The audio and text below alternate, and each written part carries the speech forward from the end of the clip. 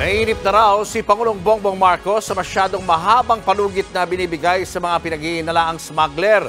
Git niya, madali lang naman maglabas ng dokumento kung legal talaga silang nagnenegosyo. Nasa frontline ng balitang yan, si Maricel Halili. Isa sa mga dahilan ng pagtaas ng presyo ay ang mga smuggler, mga hoarder at mga nagmamanipula ng presyo ng produktong agrikultural. Bilang na ang mga araw ng mga smuggler at hoarder na yan. Ito ang isa sa mga pinalakpakang pangako ni Pangulong Bongbong Marcos sa kanyang State of the Nation address noong Hulyo.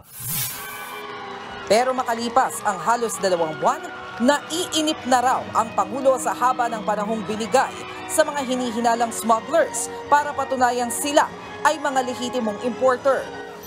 Sa ilalim ng RA 10863 o Customs Modernization and Tariff Act, may labing limang araw ang sinumang kinukwestiyon ng Bureau of Customs na umapela.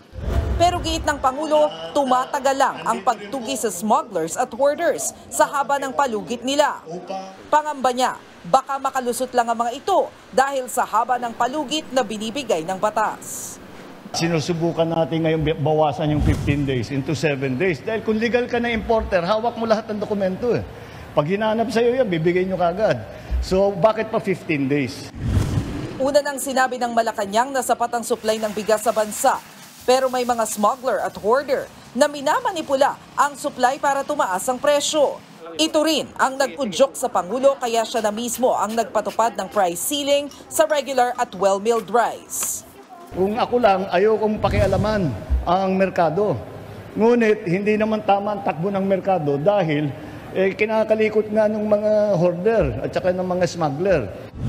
Bukod sa price ceiling, ipinamahagi na rin ng gobyerno ang mga nakukumpiskang smuggled na bigas ng Bureau of Customs bilang ayuda. Kanina, personal na ipinamigay ng Pangulo sa General Trias Cavite ang 41,000 sako ng smuggled rice sa ilang benepisyaryo ng 4Ps. Mga nasa batyan na kontrabando ng customs sa Zamboanga. Sabi ni Socio-Economic Planning Secretary Arsenio Balisacan, pinag-aaralan na nila ang iba pang pwedeng hakbang bilang alternatibo sa price cap. Sa ngayon, hindi pa masabi kung hanggang kailan ito ipatutupad sa merkado. It's temporary. So as soon as we can see and uh, a, uh, a better option of, ad- of uh, addressing that uh, and uh, uh, and have, we have achieved already the objective, then uh, it sh- should be lifted. Nagbabalita mula sa Frontline, Maricel Halili, News 5. Mga kapatid, Lucy Cruz Valdez po, maging maalam at may pakialam sa mga napapanahong balita sa bansa. Tumutok at mag-subscribe sa News 5 social media pages.